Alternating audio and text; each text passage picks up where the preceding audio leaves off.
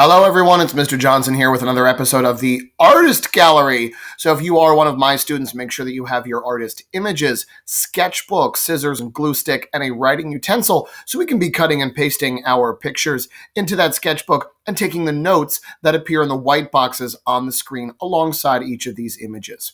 Today, the artist we will be talking about is the incredible comic book illustrator Jack Kirby.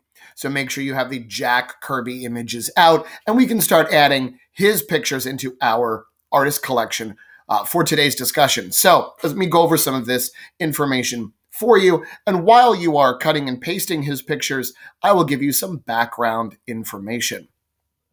Jack Kirby was born Jacob Kurtzberg in New York City.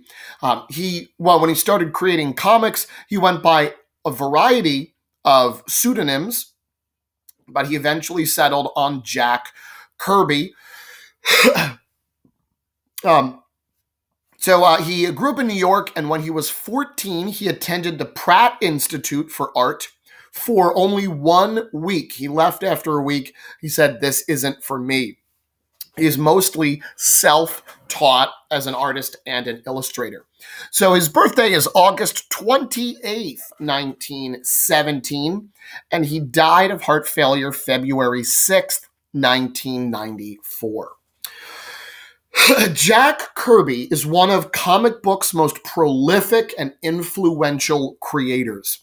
He would co create uh, almost all of the characters in the Marvel pantheon that we are familiar with, as well as many uh, big characters for DC Comics and other uh, comic book publishers as well. He began working on comics in the 1930s. And in 1940, he and writer Joe Simon create Captain America for what was then called Timely Comics. It would eventually become Marvel. Um, Captain America was a huge hit and uh, you know created early in the 1940s before Marvel even existed. Jack Kirby was drafted uh, and served in the European theater in World War II. He landed on Omaha Beach in Normandy on August 23rd, 1944, two and a half months after D Day. Uh, in the 1960s, he is best known for the prolific creations that he co created with author Stan Lee. Now, there's a lot of uh, unfortunately bad blood between Jack Kirby, Stan Lee, and Marvel Comics, as um, Jack Kirby was unhappy with the way that Marvel had treated uh, had create, treated its creators, and uh, Jack Kirby had sued Marvel multiple times over copyright and ownership of the characters that he helped create. And there was a lot of discrepancy between Stan Lee's descriptions of how these characters were created and Jack Kirby's. So now they are uh, credited as co creating each of these characters, where Stan Lee wrote the description of the character and Jack Kirby came up with the visuals. But at Marvel in the 1960s, oftentimes um, the artist would create the plot for the story. So Jack Kirby and Stan Lee would talk briefly about what should happen in this issue of a particular comic book. And then the artist would then draw the whole thing and give it to the writer. And then Stan Lee would go in and add all of the dialogue and captions. So it was a very interesting collaboration. But because of this, it led to a lot of discrepancies as to who actually came up with a lot of these ideas. But regardless of that, Jack Kirby is known as the king of Marvel Comics and uh, really paved the way for all of the you know huge Marvel and, and DC uh, characters and creations that came for years after this. So let's talk about just a few of the iconic characters that Jack Kirby uh, helped create, including Captain America, Thor, and the Incredible Hulk, Iron Man, the Black Panther, the Fantastic Four and the Inhumans, uh, all of the original X Men, Ant Man uh, and the Wasp, Quicksilver and the Scarlet Witch, Hawkeye, and Black Widow. So if you're enjoying right all of these uh, massively popular characters that were created uh, in the 1960s, Captain America a few decades earlier, but all these other characters created in the 60s um, were all designed and illustrated by Jack Kirby. I'm going to show you this uh, video where uh, they dissect one issue of a Thor story, Thor's first appearance by Jack Kirby. You can really get to see how he um, creates the dynamism for all of these exciting narrative stories that uh, Jack Kirby goes on to create. And he does this not only in obviously this Thor comic, but in all of the books that he illustrates. It's why he is known as the King. And of course, hopefully, this plays I'm doing construction right outside my house right now, so of course we get all of that background noise. Isn't that wonderful? Yes, yes, it is. Oh, video. Let's see if it goes.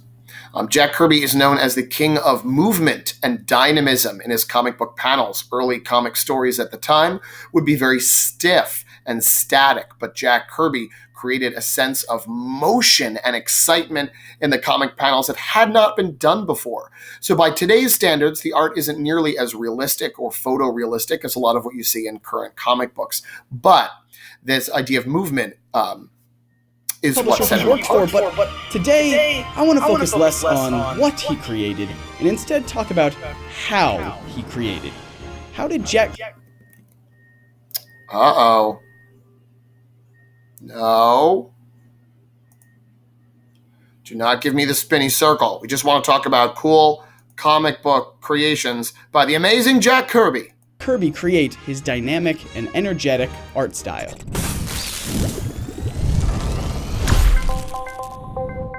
Jack Kirby's artistic style is easily recognizable. Many elements make his work stand out, from the Kirby crackle, aka the Kirby dots of fractal energy, to the way that he would forego human anatomy for the sake of a dramatic pose. At the heart of it all was Kirby's ability to infuse nearly every panel with dynamic action that made superheroes actually feel super. Quote, what Kirby brought to the comic book page was an opera of line and mass. The stories didn't matter. So much drama did his anger bring to the figures bursting out of the panels, the bodies hurtling through space as fists and feet drove into them, the faces contorted in passion, the camera angles swinging wildly, and the panels stretched and bent by the needs of the action. End quote. Kirby drew a world in motion. I think we take that for granted nowadays, but there was a time when artists and inventors were fascinated with capturing movement in a static image. Some tried to showcase movement through a series of pictures, but others wanted to showcase action in a single frame. Eventually, this idea fell into the lap of comics creators. Sure, artists could demonstrate motion by having successive frames inch a particular movement forward in time like frames of a movie, but wouldn't it be much more efficient to show entire acts of dynamic motion in the span of a single image? Thus, motion lines were born. While sloppy at first, brilliant artists like Jack Kirby transformed and stylized this concept, imbuing what were once simple lines with force and speed that seemed as though it could crack the earth in two. To dissect just one comic in Jack Kirby's endless catalog, let's take a look at Journey into Mystery number 83, featuring the very first appearance of Thor, in a story titled Thor the Mighty and the Stone Men from Saturn. When one is introducing a new character, there is no more important issue to nail than their first one. And from the opening splash page, Jack Kirby not only instantly provides some energetic imagery, but he also gives the audience a wealth of information about the hero and his alter ego. There's no doubt that Thor takes center stage. He's in a dramatic pose with his trusty hammer Mjolnir radiating with energy and angled towards the readers. Just under that, in two very tiny panels, is Donald Blake, drawn small and dull by comparison. In fact, every time we see Donald Blake in this story, he's never portrayed interestingly. Even when he's the only character in the panel, he's small and typically in the background. It's only once he finds the mystical cane that transforms him into Thor that Donald starts getting more close-ups and a little bit more action. Then, with a burst of energy containing enough power to last three entire panels, Donald Blake becomes the mighty Thor. Thor starts to display much more dynamic movement, but his full power hasn't yet been realized. Thor's body language merely echoes Donald Blake's from pages earlier. But as he starts to discover his power, we get one incredible page. Thor starts to test his hammer's abilities, first by throwing it into the air and having it return. Simple, non-destructive action.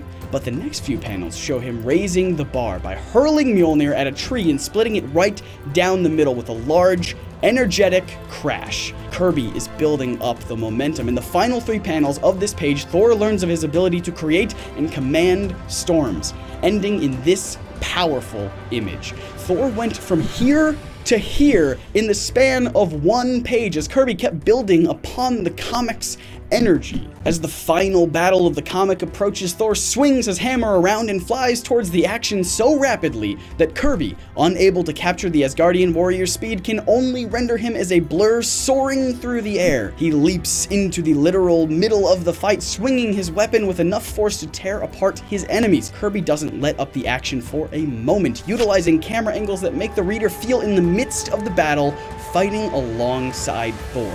Jack Kirby's use of dramatic camera angles is something you might have noticed throughout this story. In contrast, you can look at a story like Action Comics number 1 by Siegel and Shuster and see this classic Superman scene. Yeah, there's some good movement here, but for the most part it feels like we're simply looking at the action from afar through a static, boring camera angle. Kirby's method was decidedly personal. He aimed to make the reader feel like they were involved in the action, not just passively observing it. His angles featured characters and objects almost popping off of the page towards the reader. And when Kirby does pull the audience out of the action, it's to showcase a grand perspective. Take this panel near the end of the comic where Thor stands victorious as the entire armada of alien ships leaves Earth. Even though this shot is looking straight at Thor from a distance, like those Superman panels from earlier, this image still feels more exciting and triumphant. Thor's flowing cape and hair coupled with the fleeing vehicles help fill the scene with an abundance of movement. Thor defeats the monsters and transforms back into Donald Blake, once again depicted as small and weak, contrasted against Marvel's colorful, hammer wielding hero. This is simply one of Jack Kirby's stories, and it's probably not even his best example to use, but hopefully you can appreciate how much energy and excitement the king put into every line. Jack Kirby's artwork may have been sketched in lead, but his legacy and influence on the comics art form are drawn in. Oh, I love this. Um, oh, it it was drawn in history. I don't know why it, it uh, stopped there right before the last word, but I think it's amazing. I'm um, Jack Kirby's uh, legacy. I mean, continues forever because um, uh, not only the characters that he created, which you know are are numerous. They're they're everywhere, right in Marvel and in in, in DC as well. Uh, but the style, the action, the drama, the weight that he gave to his comic book illustrations changed the way that everyone drew at at uh, at the time. So uh, this is the first image you have for Jack Kirby. It's an interior page from um, a comic book called Tales of Suspense from 1967, and this shows that Jack Kirby is a master of storytelling and action. Here, the writer has chosen not even to include dialogue in the scene. There's a small caption at the top and the very bottom of the action.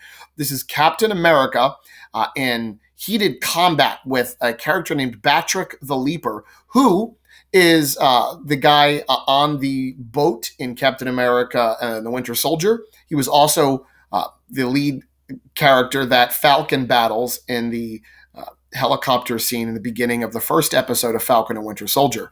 So even that character right, has been in two Marvel um, uh, projects, you know, on the screen since his creation. so just take a look at how, although each of these panels is exactly the same size, Kirby changes the camera angles like he's a movie director. Here you see um, the shot from behind Batroc running and Captain America, you know, small, far away. And Cap, you know, swings and is able to, to hit him. And Batroc goes flying, all his legs and arms fly in different directions, right? Here he swings his foot and Captain America just back bends right over him. You see the dynamic action created by all these motion lines in the backgrounds of the poses as Captain America defeats our foe. But what exciting drama. Now, uh, in Marvel Comics, uh, when in the 1960s, when Stan Lee and Jack Kirby were uh, creating uh, you know, Thor and Iron Man and the X Men and the Avengers and the Fantastic Four and Ant Man and the Wasp.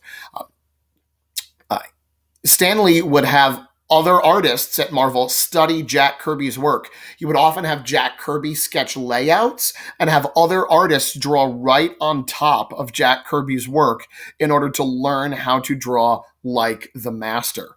Um, I think that was really, really cool. The second image that you have is the cover to Avengers number 12, the 12th issue ever of the series in 1965, again by Stan Lee and Jack Kirby. And this shows dynamism and Jack Kirby's incredible use of composition. So here you have the original Avengers from the comics. There's Thor right in the center, right, bashing Mjolnir into the ground, um, surrounded by Iron Man, Giant Man and the Wasp, and Captain America as they would appear, you know, in the Avengers in the 1960s. The Hulk had already left at this point. And then, so these characters are front and center. They fill the whole space. They, they go off the edges of the page. And then in the background, you see our villains, the Mole Man, uh, back here, right? So he makes an appearance, but it creates a sense of, of depth by shifting the scale of the figures from the large figures in the front to these very small characters far in the background. And just look how every character's pose is so dynamic and so different, reaching forward, pointing their hands right, right at the screen. You get all of this excitement and energy through Jack Kirby's work. Something you do not have um, is the cover to Fantastic Four number 72, created in 1968, where uh, the use of color creates this amazing focal point. So here, color makes uh, the Watcher and the background of space all shades of red and purple, while the main figure, the Silver Surfer, is white and blue and yellow. The Silver Surfer was one of Jack Kirby's favorite comic book characters that he created for the Fantastic Four, uh, that he had a lot of contention uh, with Stan Lee over how to handle the character, and they never really saw eye to eye on who the Silver Surfer should be. Um, and then here's something that um, you do not have, but I just wanted to show you an example here. On the left is Jack Kirby's original artwork um, that's been you know illustrated and then inked over uh, with brushes and pens to create these black, bold lines. On the right is uh, how it looked actually in the comic book with color added and then printed. The print quality in the 1960s was not that good. So you can see even that the, the black lines are a little faded and the detail gets a little bit lost because the, the printing that Marvel used and all the comic book companies used early on in the 60s was not very high quality. But I do think it's really cool to see his original art compared to what was uh, you know finally uh, printed. Here, uh, talking about original art. Um, this is the cover to Fantastic Four number 86. And this is the original drawing by Jack Kirby, what he actually, you know, worked on with the, you know, this is the board that he drew right on, created in 1969. This is done in pencil first. He would draw out the entire scene in pencil, and then it would be gone over with ink. Usually a brush, you would dip a brush into ink and paint the lines on, which is, is very difficult to do. Um, you could see some whiteout in a few areas where they decided to change something a little bit up here in Doctor Doom um, that has been uh, altered. But I think this cover is incredible. It shows a great use of scale shift, where Doctor Doom is shown huge, towering over our Fantastic Four characters down here, uh, along with Crystal of the Inhumans. Uh, she's the fifth one. But you got that huge scale. Doctor Doom is gigantic. And also look at the way Jack Kirby uses line weight. His lines are never the same thickness. Their lines around Doctor Doom are bold, right? Whereas the lines in the rocks down here are much thinner because they're not nearly as important. So that use of line weight and scale there is incredible. So again, Jack Kirby not only created these amazing characters from Marvel comics, including, uh, you know, the Hulk and the Avengers. Um, the Submariner was created by Bill Everett. Uh, but you know reused here in the avengers. So this is a cover you don't have. I just think it's so dynamic and so exciting. Um, but jack kirby uh, after being fed up with working uh, at marvel he eventually left and worked at dc its rival where he drew uh, lots and lots of dc stories and created the new gods. So characters like i don't know if you've heard of them but darkseid and steppenwolf were characters created by jack kirby during his time working at dc so I thought that was pretty cool. All right, so here's what I'd like to know for my students. You have a journal entry. How do you think Jack Kirby's work has influenced popular culture? So again, my students, when you finish your artist page, you should have all the pictures pasted down. Um, and included the names of all of them from those white boxes on the screen. Take a photo of it, add it to the artist gallery assignment, and then in the text box, tell me how do you think Jack Kirby's work has influenced popular culture. Hope you enjoyed learning about Jack Kirby. There's so much about him to look into. Uh, if you're interested in more of what he created for Marvel and DC, DC Comics, give him a quick Google and you will find all this amazing information. We'll see you next time.